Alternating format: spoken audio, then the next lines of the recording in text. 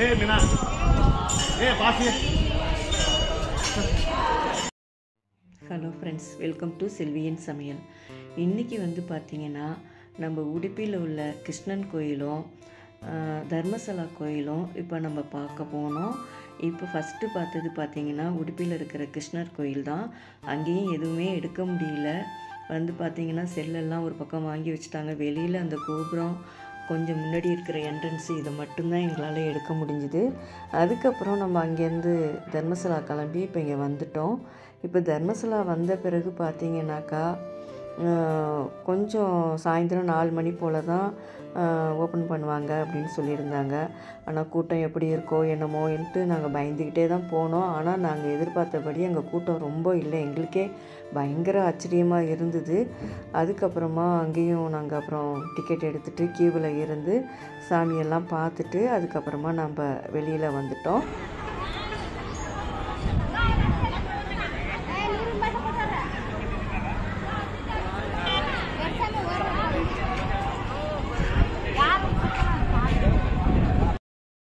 இப்போ பார்த்தீங்கன்னா கொஞ்சம் ஃபோட்டோஸ் எடுத்துக்கிட்டு ரொம்ப எடுக்கல கம்மியாக தான் எடுத்திருந்தோம். எடுத்துகிட்டு நம்ம அங்கேருந்து கிளம்பிட்டோம். இது வர வழியில் பார்த்தீங்கன்னா இந்த டெம்பிள் வந்து ஜெயின் டெம்பிள் மாதிரி இருந்தது. ரொம்ப அழகாக இருந்தது. ஆனால் நாங்கள் கீழேலாம் இறங்கி போய் பார்க்கல. போய் பாருங்கள் அப்படின்னு தான் சொன்னாங்க. இல்லை வேணாம் லேட் ஆகிடும்னு சொல்லிட்டு சும்மா காரில் இருந்து அப்படியே ஃபோட்டோஸ் மட்டும் அப்படியே சா கோயிலை எடுத்துகிட்டு அங்கேருந்து அப்படியே நாங்கள் கிளம்பிட்டோம்.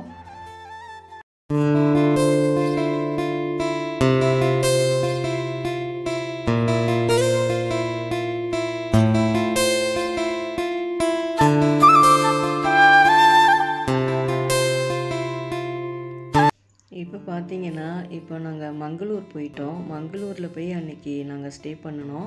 அங்கே இருந்த கோயிலெலாம் கொஞ்சம் பார்த்தோம். இது நைட்டு நேரத்தில் பாட்டு கேட்டுக்கிட்டே அப்படியே போக்குள்ளார ரொம்ப அழகாக இருந்தது. இந்த நைட்டு நேரம் பார்த்தீங்கன்னாக்கா ட்ராவல் பண்ணுறதுக்கு எங்கள் பையனுக்கு ரொம்ப பிடிக்கும் நைட்டில் ஆனால் மோஸ்ட்லி நாங்கள் நைட்டில் அவ்வளோவா போக மாட்டோம் ஸோ இதுமாரி என்றைக்கோ ஒரு நாள் போக்குள்ளார ரொம்ப பிடிக்கும். அதோடு அங்கே போயிட்டு அதுக்கப்புறமா ரூம் போட்டு அன்றைக்கி நாங்கள் ஸ்டே பண்ணிட்டோம். நான் சொல்ல மறந்துட்டேன். ஒரு கிருஷ்ணர் சிலை மட்டும் நாங்கள் அந்த உடுப்பி கிருஷ்ணன் கோயிலில் வந்து வாங்கினோம். அதுதான் நாங்கள் முன்னாடி வச்சுருந்தேன். அதை நான் பேசக்குள்ளே கொஞ்சம் மறந்துட்டேன் சொல்கிறதுக்கு ரொம்ப அழகாக இருந்தது அந்த சிலை கூட பார்க்குறதுக்கு எங்கள் பையன்தான் இது இந்த சிலை வாங்கி கொடுத்தாப்புல.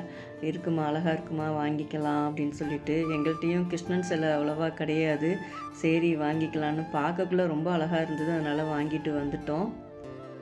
இப்போது ஒர்க்குங்கிறது இப்போ எல்லாருக்குமே எப்பயுமே இருக்கும். வந்து ஆனால் இதுமாரி ஏதோ ஒரு ஐடியா பண்ணி ஒரு ஆறு மாதத்துக்கு ஒரு தடவை ஒரு நாலு நாள் எங்கேயாவது ஒரு ட்ரிப்பு போட்டு போயிட்டு வந்தோம்னா அது மனசுக்கு ரொம்ப சந்தோஷமாகவும் இருக்கும். நம்ம நாங்கள் வந்து ரொம்பவே மிஸ் பண்ணியிருக்கோம். நிறைய இடங்களை பார்க்கக்குள்ள இதெல்லாம் முதலையே பார்த்துருக்கலாமே. அப்படி தான் தோணுச்சு. இப்போ வந்து பார்த்தீங்கன்னாக்கா இனிமேலாவது நம்ம இனிமேல் நிறைய ஐடியா பண்ணி நிறைய இடங்கள் பார்க்கணுன்னு நாங்கள் பேசிகிட்டு இருக்கிறோம். இப்போ நீங்கள் மங்களூர் கோயில்லாம் இப்போ நீங்கள் பாருங்கள்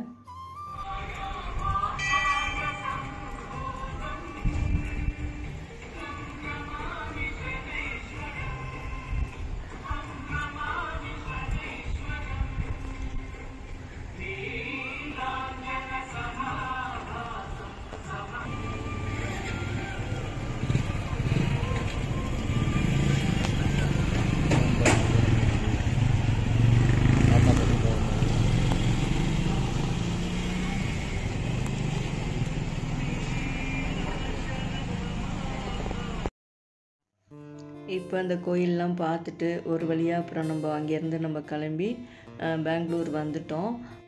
ஆனால் இதெல்லாம் இப்போ நம்ம சுற்றி பார்க்கக்குள்ளார இப்போ நம்ம முதல்ல சொன்ன மாரி தான் இனிமேல் வந்து நம்ம அடிக்கடி எங்கேயாவது போயிட்டு வரணும் அப்படின்னு இப்போ எங்கள் வீட்டுக்காரங்களும் சரி எங்கள் பையனும் சரி சொல்லிக்கிட்டே இருப்பாப்புல. ஆனால் பிஸ்னஸாக இருக்கிறதுனால அவங்களுக்கும் ஒர்க்கு டைட்டாக இருக்கும். ஒரு ரெண்டு நாள் மூணு நாள் கிடைக்கிறதே பெரிய விஷயமா இருக்கும். அந்த நேரத்தில் அதுமாரி போகிறா இருந்தால் இப்போ நம்ம போயிட்டு வரலாம். அதுவும் நான் மோஸ்ட்லி நான் கோயிலுங்க தான் பார்க்கணுன்னு நான் கேட்பேன். அதனால சரி வா போயிட்டு வரலாம் அப்படின்னுட்டு. இனிமே எல்லாமே நிறையா போய் பார்க்கலாம் அப்படின்னு அவங்க சொல்லிக்கிட்டு இருக்கிறாங்க. இதுக்கு அடுத்தது வந்து பார்த்தீங்கன்னாக்கா நான் ஒரு சொரக்காயில் ஒரு அல்வா செஞ்சுருக்கேன். இப்போ அந்த அல்வா எப்படி இருக்குதுன்னு பார்த்துட்டு சொல்லுங்கள்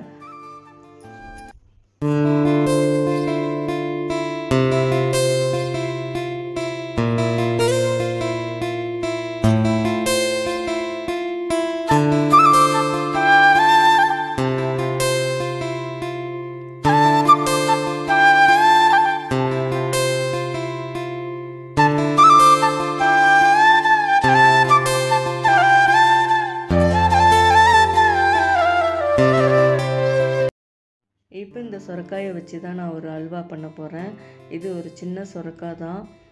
ப இதில் வந்து பார்த்திங்கன்னா கொஞ்சம் நெய் போட்டுக்குங்க. நெய் இப்போ ஒரு கடாயில் போட்டுக்கிட்டு முந்திரி பருப்பு கொஞ்சம் போட்டு வறுத்து எடுத்துக்குங்க. இந்த சுரக்காயை வந்து பார்த்திங்கன்னா தோலெல்லாம் நல்லா செத்தி எடுத்துக்குங்க. தோலை ஃபஸ்ட்டு செத்தி எடுத்துக்கிட்டு நம்ம அந்த கேரட்டு செத்துவோம்ல அந்த கேரட்டு செத்துறதுல வச்சு நல்லா துருவி எடுத்துருங்க. இப்போ முந்திரி பருப்பு வந்து இப்போ நமக்கு நல்லா வறு வறுபட்டுடுச்சுனாக்கா இப்போ அந்த நெய் இருக்கும் பார்த்தீங்களா பாக்கி அந்த நெய்யிலேயே வந்து இந்த சுரக்காயை போட்டு நீங்கள் வறுத்து எடுத்துக்கலாம். இப்போ இதில் என்னென்னா இந்தமாரி செத்தி எடுத்துட்டு இந்த சுரக்காயை நல்லா இறுக்கி புழிஞ்சிங்கனாக்கா தண்ணி பார்த்திங்கனாக்கா நிறைய வரும். அந்த தண்ணியை நல்லா இறுக்கி புழிஞ்சி வடித்து எடுத்துருங்க. இந்த அளவுக்கு தண்ணி இருக்கும். அதுக்கப்புறமா அந்த காயை புளிஞ்ச காயை வந்து நீங்கள் நெய்யில் போட்டுடுங்க. நெய்யில் போட்டுட்டு இதை நல்லா வதக்கி கொடுத்துக்குங்க. நல்லா வதக்கி கொடுத்துட்டு நல்லா ஒரு அரை டம்ளர் பால் ஊற்றிக்கிங்க பால் ஊற்றி நல்லா இதை மறுபடியும் அதிலே கொஞ்சம் நேரம் வதக்கி கொடுத்துக்கிட்டே இருங்க. வதக் வதங்கின பிறகு பார்த்தீங்கன்னாக்கா கொஞ்சமாக வந்து அப்புறம் சுகர் போட்டுக்குங்க. ஜீனி இதுக்கு தேவையான அளவுக்கு ஒரு கால் டம்ளர் போட்டுக்குங்க. அதையும் நல்லா அப்புறம் இலக்கம் கொடுத்து நல்லா நமக்கு வரும். கை விடாமல் நல்லா கிளறிக்கிட்டே இருங்க. சிம்மில் வச்சே செய்யுங்க. இதுக்கப்புறம் கடைசியாக பார்த்திங்கன்னா நம்ம வறுத்து வச்சுருக்கோம்ல இந்த முந்திரி. முந்திரியும் போடலாம் திராட்சையும் போடலாம். இந்த சுரக்காயோடு வந்து பார்த்திங்கன்னா பால் பவுடர் கூட ஒரு பாக்கெட்டு போடலாம். அப்படி இல்லைன்னா அந்த பால்கோவா கூட கொஞ்சம் வாங்கி போடுறாங்க. ஸ்வீட் இல்லாத பால்கோவா கொஞ்சம் வாங்கி போடுறாங்க. ஆனால் நான் எதுவுமே போடலை. சும்மா தான் செஞ்சுருந்தேன். அதுவே ரொம்ப டேஸ்ட்டாக ரொம்ப அருமையாக வந்திருந்தது. நிறைய ஸ்வீட் செஞ்சுட்டேன். எனக்கு ஏதோ செஞ்சு கொடுக்கணுன்னு தோணுச்சு அதனால் சரின்ட்டு இந்த வெளியில் வாங்குறதுக்கு இதே நம்ம செஞ்சுக்கலாம் அப்படின்னு சொல்லிட்டு சொரக்கா வீட்டில் இருக்கவும் கடகடன் பண்ணிட்டேன். இப்போ இந்த வீடியோ இதோட முடியுது. இந்த வீடியோ பிடிச்சிருந்தா என்னோடய சேனலுக்கு ஒரு லைக் கொடுங்க. என்னோடய சேனலை சப்ஸ்கிரைப் பண்ணிக்கோங்க. நம்ம அடுத்த வீடியோவில் பார்க்கலாம். நன்றி வணக்கம்.